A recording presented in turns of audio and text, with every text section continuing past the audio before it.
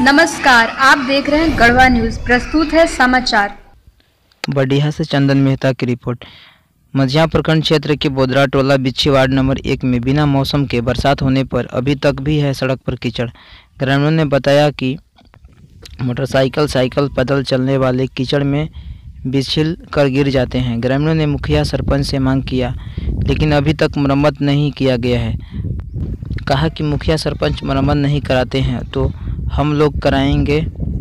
उस मौके पर धर्मदेव रजवार, उखमजी रजवार, उमेश रजवार, रामजीत रजवार, मुखलाल रजवार, कमलेश रजवार आदि लोग ग्रामीण उपस्थित थे। धन्यवाद।